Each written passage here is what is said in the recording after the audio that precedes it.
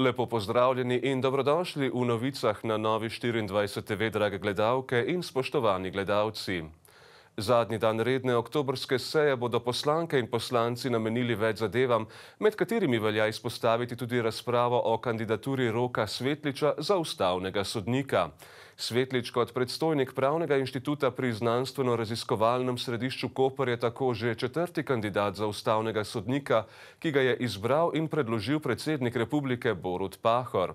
Vsi poprej predlagani kandidati v državnem zboru namreč niso zbrali zadosti podpore za imenovanje so se pa po Svetličevi uložitvi kandidature v javnosti pojavljale nepodkrepljene obtožbe strani nekaterih pravnikov o tem, da naj bi Svetlič lani poleti na posvetu o migracijah govoril o streljanju migrantov, kar so nekateri mediji, ki so bliže levemu političnemu polu, nekritično širili dalje. Obtožbe je Svetlič sicer že zanikal, za imenovanje pa bo potreboval 46 glasov na tajnem glasovanju. Poslanci se bodo ukvarjali tudi s primernostjo zakona o dolgotrajni oskrbi za nadaljnjo obravnavo, redni seji pa bo sledila izredna, na kateri bodo na zahtevo opozicije obravnavali razmere v državi. Opozicijske poslanske skupine so sicer pripravile priporočila o odstopu vlade, a jih je večina na odboru za notranje zadeve zavrnila kot neutemeljene, zato o njih v hramu slovenske demokracije danes ne bodo glasovali. Ministri držav članic pristojni za energijo bodo na današnjem izrednem sestanku v Luksemburgu poskušali najti rešitev glede vse višjih cen energentov, ki smo jim priča v zadnjem času in ki posledično še dodatno otežujejo izhod iz zdravstvene krize. Zasedanje bo kot predsedujoči svetu Evropske unije vodil minister za infrastrukturo Jernej Vrtovec, ki je izpostavil, da si bodo predvsem prizadevali zaščititi državljane in gospodarstvo Evropske unije ob najvišjem skoku cen energije v zadnjem letu. Podražitev je po Vrtovčevih besedah tudi znak, da potrebuje Evropa več energije iz obnovljivih virov, kakor tudi večjo energetsko učinkovitost ter dobro delujoč in popolnoma integriran notranji energetski trg. O pomoči najranljivejšim skupinam prebivalstva so se na poziv Evropske komisije odzvali tudi voditelji 27-terice ter ponudili nabor kratkoročnih ukrepov, kot so energetski voucheri in znižanje davka ter državna pomoč za podjetja. Udeleženci današnjega sestanka se bodo osredotočili predvsem na to, kakšno pomoč še lahko ponudi Evropska unija pri hitrem odzivanju na podražitev energentov. Policija je začela zbiranje obvestil o pošiljkah z grožnjami smrtjo, ki sta jih prejela premijer Janez Janša in obrambni minister Matej Tonin in odkrivanje možnih storilcev. Pošiljke z grožnjami in priloženim nabojem sta sicer dobili tudi poslanski skupini Desus in SMC ter predsednik SNS Zmago Jelinčič plemeniti.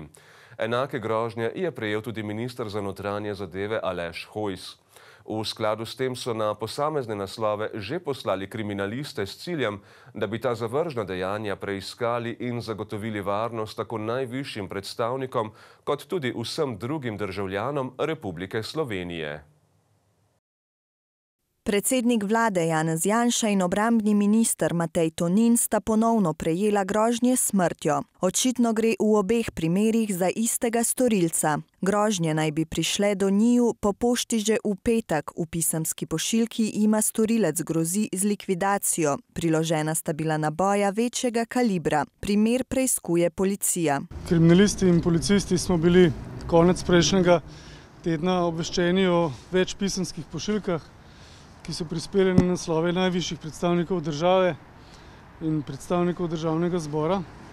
Seveda smo takoj pristopili k zbiranju obvestil in intenzivnemu odkrivanju storilcev, možnih storilcev teh kaznevih dejanj s ciljem, da bi ta zavržna dejanja preiskali in zagotovili varnost tako najvišjim predstavnikom, kot tudi vsem drugim državljanom Republike Slovenije. Pismo z grožnjo smrtjo in priloženim nabojem večjega kalibra je dobil tudi predsednik stranke SNS Zmago Jelinčič Plemeniti, ki je prepričan, da so mu grožnjo poslali z levega političnega pola. Celo več, konkretno je dejal, da je to delo enega izmed članov SD, LMŠ, SAP ali Levice. V zvezi s tem so bili že izvedeni nekateri ukrepi. Na različne naslove smo že poslali kriminaliste, zaprosila s ciljem, da bi kar najbolj zavarovali življenja ljudi in seveda odkrili storilce, ki to kaznivo dejanje grožnje izvršujejo. Poleg predsednika vlade, ministra Tonina, Zmaga Jelinčiča plemenitega so grožnje smrtjo v preteklih dneh prejeli tudi ministr za notranje zadeve Aleš Hojs, grozilna sporočila pa so naslovili tudi na poslanski skupini Desus ter SMC. V tem primeru gre za kaznivo dejanje grožnje po 135. členu Kazenskega zakonika Republike Slovenije in sicer po drugem odstavku. Pregon za to kaznivo dejanje se začne na predlog in policija je trenutno še v fazi pridobivanja teh predlogov. Predsednik vlade je v kuverti med drugim prejel fotografijo sebe z narisano tarčo, neznani pošiljatelj ali pošiljatelji pa so tarče narisali tudi na fotografijo njegove družine. Nad fotografijo je bil pripis z grožnjo smrtjo in opozorilo, da ekipe čakajo na komando. Neznani pošiljatelj smrtjo sicer ni grozil le prejemnikom pošiljk, temveč tudi vsem podpornikom aktualne vlade. Nekatere predloge smo že dobili, glede na to, da je teh pošiljk več, pa bomo z osebami, ki bi lahko bile ogrožene, opravili razgovore in poskušali pridobiti uh, njihove predloge za pregon. Predsednik SNS se sprašuje, ali bodo morali sedaj politiki naokrog hoditi s pištolami, saj takšne grožnje, kot so bile zapisane v pismih, po njegovih besedah niso preproste. Prepričan je, da policija tudi tokrat ne bo odkrila ničesar. Skrbi ga, da je to le še ena zadeva v smeri slovenske leve demokracije. V ponedeljek so v Parku vojaške zgodovine v Pivki slovesno odprli razstavo Narodne in univerzitetne knjižnice ob 30-letnici slovenske osamosvojitve.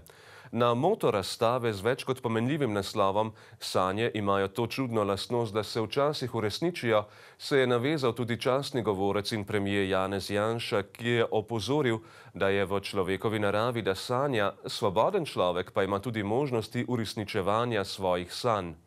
Ob včerajšnjem dnevu suverenosti smo po Janševih besedah dobili lastno državo, v kateri ima vsakdo pravico do uresničevanja lastnih sanj, od posameznika pa je odvisno, koliko truda bo uložil v to.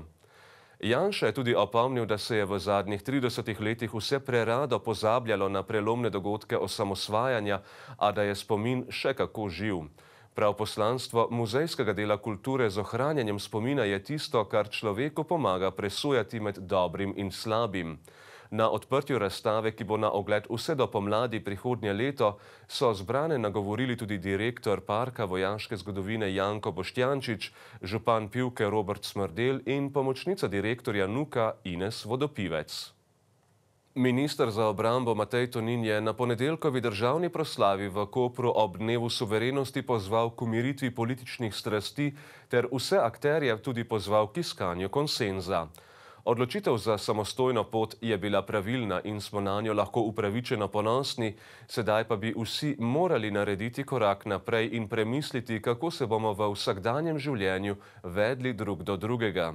Izpostavil je tudi, da je epidemija to stanje v slovenski družbi le še poglobila, sedaj pa se moramo strinjati najmanj v treh stvarih, če želimo iziti iz krize. Gre za boj proti epidemiji, nadaljnje gospodarsko okrevanje in dokončanje predsedovanja svetu Evropske unije. Kljub vsemu pa je Tonin optimist in meni, da lahko Slovenijo uvrstimo na zemljevid najbolj razvitih držav sveta.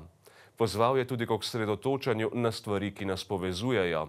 Tonin se je spomnil tudi tistih, ki so si v vseh časih prizadevali za samostojno Slovenijo, kakor tudi tistih, ki so branili mlado državo in za njo dali svoje življenje. Zato je dobro opremljena in izurjena vojska ključna za slovensko suverenost in kot taka ne predstavlja breme državi. In če je bil začetek tega tedna obsijan soncem, pa se bo vreme v prihodnjih dneh nekoliko skisalo. Poglejmo, kaj še pravijo vremenoslovci.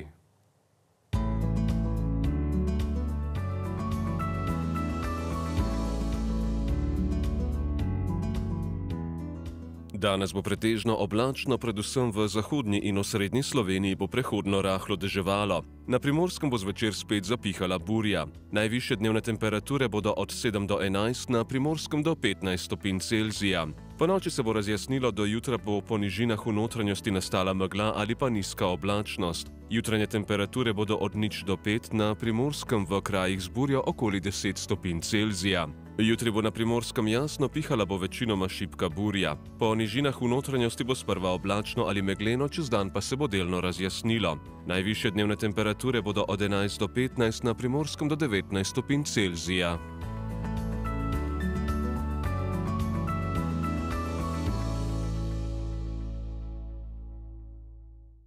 Drage gledalke in gledalci, hvala, ker ste spremljali novice. Ostanite z nami še naprej in nasvidenje.